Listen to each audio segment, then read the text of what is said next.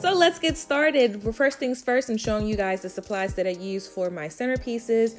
Um, back there are some tea lights that I purchased from Amazon. Um, but the quick water, the greenery, everything I'm showing here was all purchased from Hobby Lobby or Michaels. Um, briefly, if you guys just go back and pause it, the blue quick water that you guys saw sucks really bad. You actually have to microwave that. So I didn't use that, I actually returned that for the other uh, quick water. So now we're gonna go ahead and take the greenery that we have and we're going to go ahead and uh, group them together. What I did is I just uh, put everything in a vase for my cousin. As you can see, she's taking everything out and then she's gonna go ahead and rearrange it. So me on the back end, I'm taking what flowers I wanted and what greenery I wanted and then I would stuff it in a vase and then I'll give it to her and then my cousin will go ahead and arrange uh, the the the greenery and the flowers. I don't know what the, the term is for it, but that's exactly what she's doing right here. Um, and we're just basically freestyling it on how we want um, it to look. She kept looking at it, I kept looking at it. We wanted it to be nice and full um, and very tropical-ish because that was the theme that we were going for.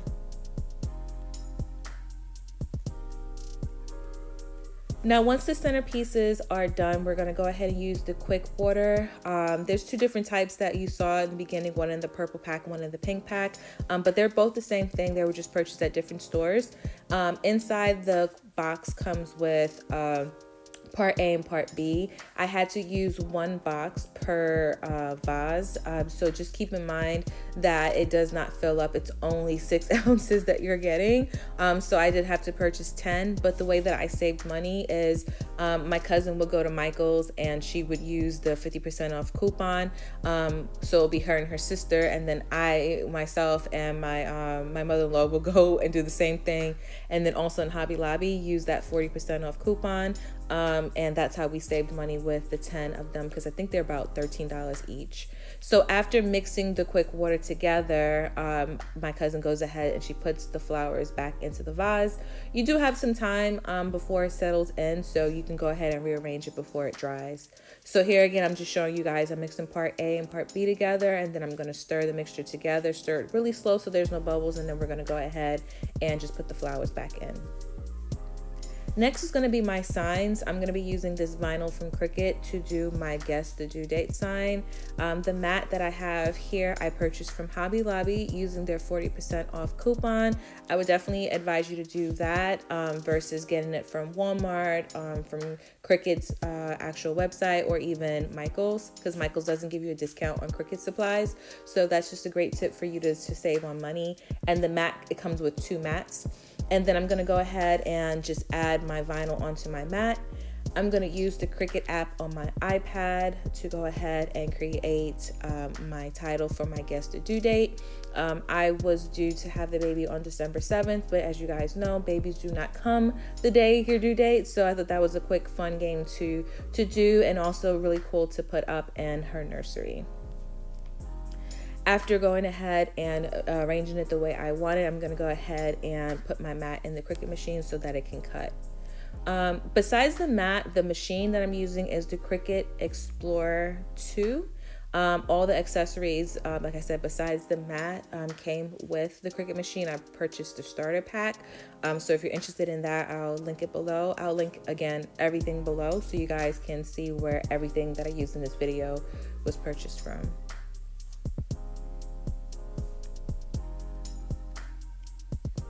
Um, after printing, then I'm gonna go ahead and peel the vinyl off and then we're gonna go ahead and weed it. Um, if you're new to uh, vinyl, um, I would definitely suggest to waste, not waste, not waste not waste um, any of the vinyl. Um, people who are in the vinyl community and like to make stuff with um, HTV, which is heat transferred vinyl, or just regular adhesive vinyl, like the one I'm using here, knows that you do not waste your vinyl because it's really expensive. So that's what I'm doing right there. I'm just cutting the vinyl that has not been used, and I'm going to use that for other stuff for my boards. But here I'm doing a method that's called weeding, and what that means is you're pulling the vinyl off of the actual paper, um, and then you can put the transfer paper on top to stick down to whatever you're sticking it to, if that makes sense. Um, but I'll show you guys exactly what I'm talking about. Um, definitely take your time when you're weeding. It, it is a lot of work, but definitely take your time so that you're not messing up what you cut or what the Cricut cut for you. Next, I'm gonna work on my welcome sign. I purchased this uh, this picture frame from Walmart. Um, it's a 16 by 20 picture frame, and I'm gonna go ahead and do the same thing. Work with my Cricut app with my welcome sign. So one mat is to say welcome, and then the other side, uh, the other mat is going to say the rest of the stuff. So I'm to do the same thing, adding my vinyl onto my mat and then loading it in and making sure that it's cut. Another tip, I don't know if I said this before, is when you're laying your vinyl, just make sure that it's nice and flat with no air bubbles because you just don't want your cutting to look kind of wonky.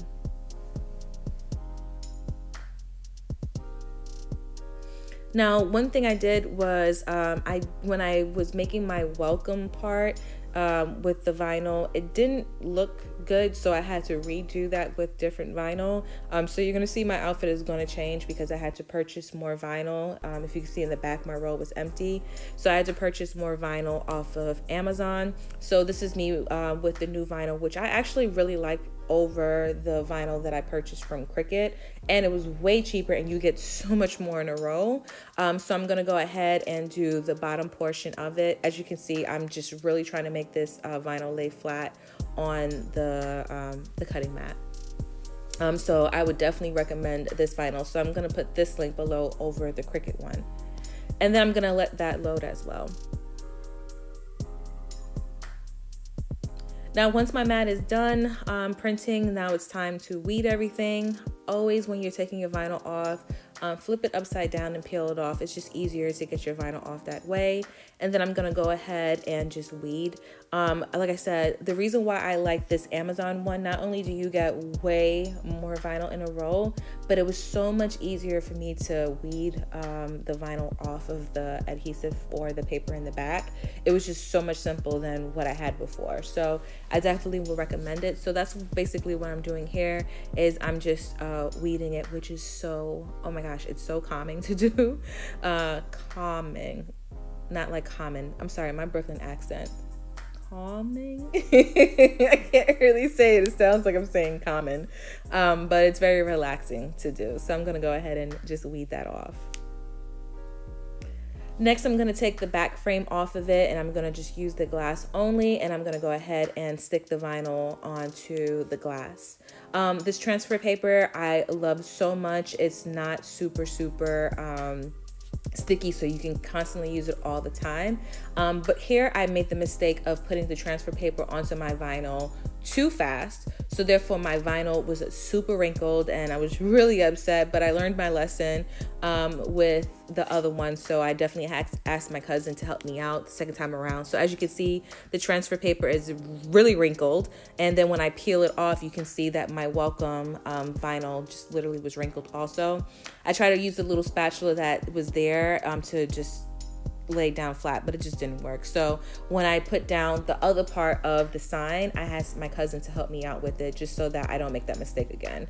So as you can see, she's gonna come over there and she's gonna help me and then we're just gonna smooth the transfer paper onto the vinyl. So when working with big signs, definitely see if you can get help, especially if you're an amateur like myself, so that everything is nice and neat. And then the paper in the back of that picture frame, I'm going to use that as a nice little line so that I know that the two, um, the shower honoring part um, is nice and straight. So I'm going to peel that back and then you're going to notice that the blue paper behind the glass is going to be a little bit lower. I use that as um, a guide to just make sure that it was straight. Again, with my cousin's assistance, we're going to go ahead and just smooth it down so that there's no wrinkles.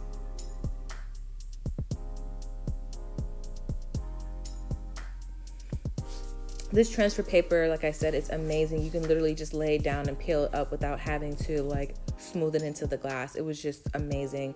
And this is the final look on what the welcome sign looked like. We used an easel. Um, we taped the easel up and then we put a couple of flowers on the top. So that's what the welcome sign looked like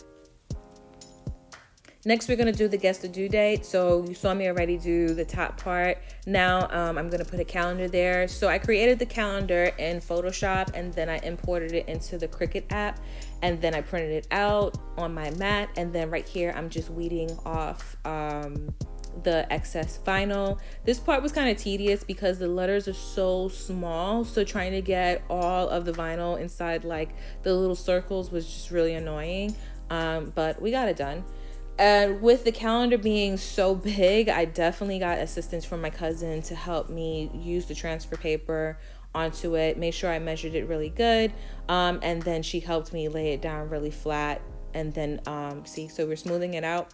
And then we're gonna go ahead and transfer it. Um, I'm using a poster board that I purchased off, uh, purchased from Hobby Lobby. And in the Cricut app, what I did is I got some bees and some honeycombs from Google and I went ahead and used my scrap paper uh, to go ahead and do the combs and the beads. This is me just writing down what each piece is. So combs, beads, and things like that. And then I'm gonna lay it down on my mat. And then I'm gonna go ahead and print that out as well. Um, this whole process took me about three days to do. So just make sure you have, you know, your drinks with you and some music playing. We had some music playing and just have some fun with it. Um, it's it's a lot of work, but it's it's I like the way the outcome is. I like doing everything myself because you actually save money doing it yourself. So after everything is printed out, we're gonna go ahead and transfer everything onto the poster board. Um, like I stated again, the poster board I purchased from Hobby Lobby, and then my cousin's gonna help me see. I was gonna do it myself, but I was just like, you know what? Maybe I need help. So my cousin came over to help me just line it up really good, and then we laid it flat, and then we just peeled that transfer paper off.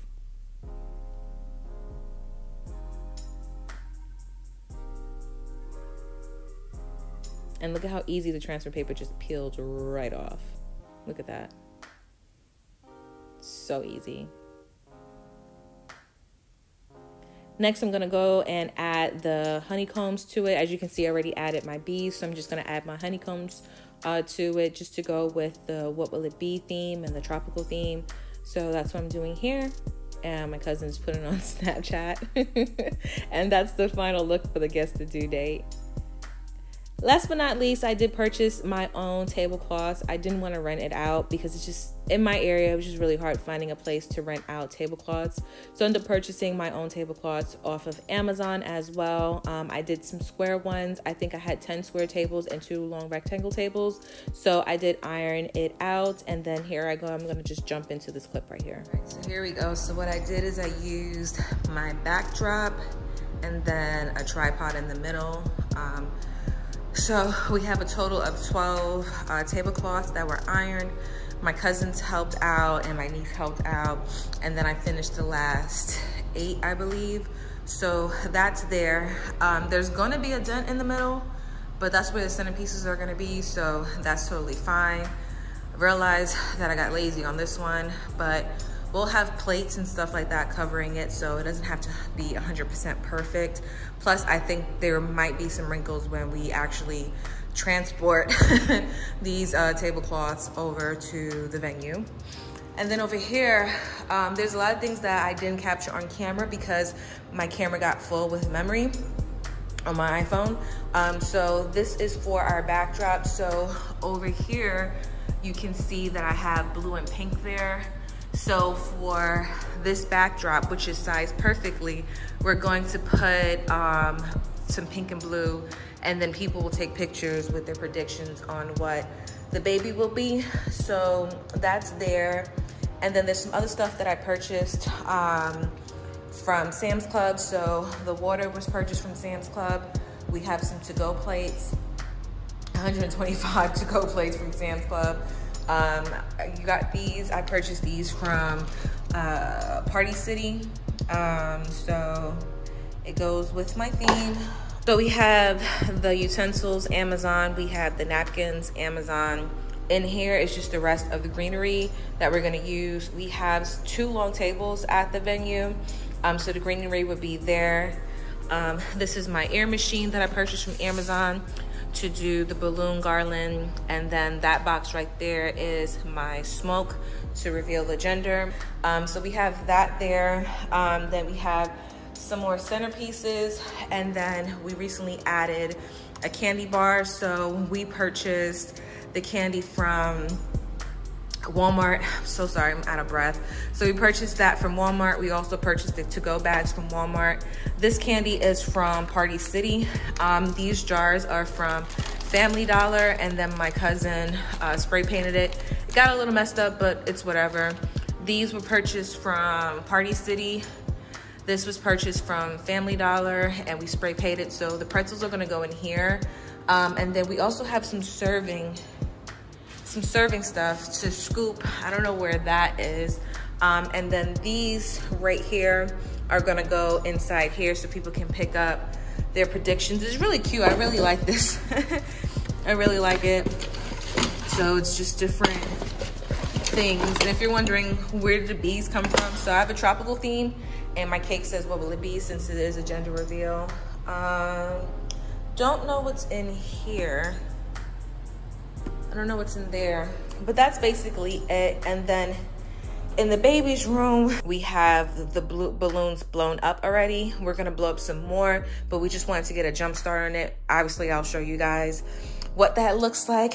And then in the corner here, I left all the centerpieces in the bedroom because I feel like out there, since we don't have furniture, that it could collect more dust. So we just put um, most of the centerpieces here um, and they're good to go. So that's what we've done so far. I do apologize that I haven't gotten a chance to show everything. I didn't realize that a lot of my stuff um, stopped recording, which is just stress, but I'm jumping back in just to show you guys where we are with it. Last but not least, we go ahead and we're going to do the balloon garland as I showed you in the clip before. We already pre-blown the balloons and we put them in garbage bags just so that it's easier for us to assemble. What I did is I purchased a set from Amazon that came with this string right here. Um, not really a string, but this little thingy thing right here. As you can see, there's a big hole and there's a small hole. So basically what you do is after you blow up your balloon and you tie it, you push the end of the balloon into the big portion and then after that you lock it in place into the smaller portion. So that's basically what my cousins are doing. You can skip holes if you want. It all depends. Once you start doing it it starts getting a little bit tighter. Um, so that's what we were doing. We were going ahead and just adding the balloons to that plastic that came with it. I used two packs from amazon and then i purchased some extra gold balloons um, from amazon as well. Um, some of the balloons as you can tell on the floor did shrink um, after a while, but that's totally fine because with the balloon garland, you need to have different sizes. So I did take advantage of the smaller balloons. I did stick them so they have different sizes. This whole process took about an hour after the balloons are blown up. Um, we actually did this a week before. So on Sunday is when we actually put the balloons together and it actually held up the day of the shower. And this is basically what the after looks like. So this is the final result. So as soon as you walked in, you saw the welcome sign. It looked really nice and beautiful. Um, then when you walk in, you'll see my fail of my boy girl um, backdrop that I had. I really didn't like the way it turned out. But the tables looked amazing. Um, the centerpiece looks really good. The tablecloth looked really good. Uh, the utensils I purchased from Amazon looked really good. Um, I was really happy with it. On your top left, you're to see two long tables. So I had 10 square tables, two long rectangle tables. Um, so I think it looked pretty good. Um, here's my sister with the hat, my cousin with the, the blush on, uh, my sister in the stripe, and then my aunt came out. and then we have my dessert table. So the cupcakes my sister purchased from Publix. The cupcake stand is from Amazon. My baker did what will it be a cake, and then here's my little um, dessert bar. It's, it was really small. Um, my cousin borrowed a Polaroid camera from a friend, so we also took Polaroids, and then you're gonna see the guest due date. Um, this wall was supposed to be where the balloon garland was, but it, the balloons kept popping against that, so we ended up putting the balloon garland across the door, which actually worked out pretty well, even though a lot of balloons popped. Here's the gender reveal.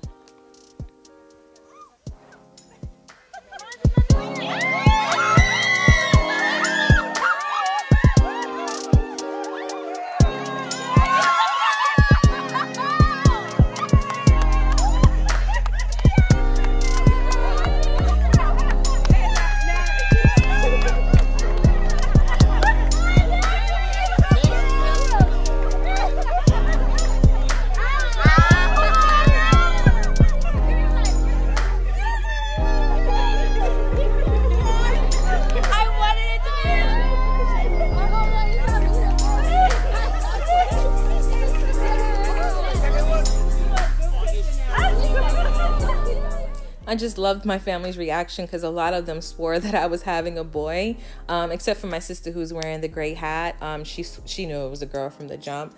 But I want to thank everybody for coming out. I want to thank Eloise and Abis and my uh, my niece Sharon for helping out. Here's my family right here, my sisters and my mom. I want to thank everybody for showing up and thank you for watching. And if you didn't know, um, I do have some videos about my fibroid and my pregnancy journey, so make sure you check those out.